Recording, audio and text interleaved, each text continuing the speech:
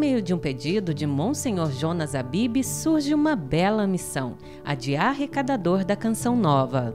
Eu tive a graça de ser a primeira ali, dos primeiros, a trabalhar com sócio quando a rádio começou em 1980. Padre Jonas me chamou e disse: Olha, você vai é, buscar é, ajuda para nós pagarmos a rádio.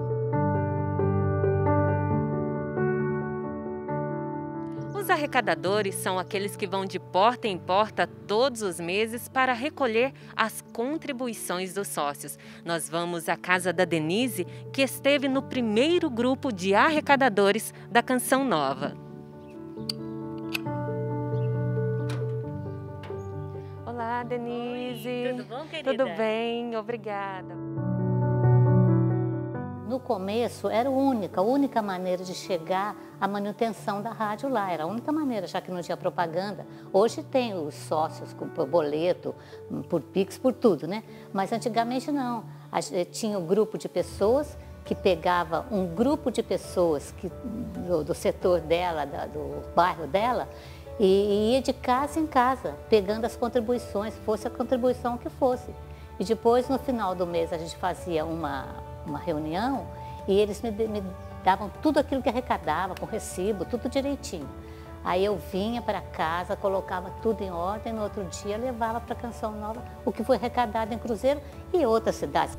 Denise guarda com carinho o primeiro caderno que usou em 1982 para administrar as doações. Mesmo com tantas outras formas de ajudar a Canção Nova, ainda há quem prefira contar com os arrecadadores apesar de que hoje já diminuiu muito, que quem pode pagar por boleto paga da maneira que a pessoa quiser. E a gente ainda tem aquelas pessoas que preferem que a gente vá na casa receber. Este casal lista princípios de um bom arrecadador. Procurar sempre dar, dar uma boa atenção para o sócio Canção Nova. Segundo, ajudar sempre o arrecadador mais idoso, levando o relatório do fechamento do mês para uma casa de missão Canção Nova. E também, caso apareça alguém com um boleto bancário já vencido de alguém que o procure, é só aceitar com a contribuição e levar para a casa de missão Canção Nova.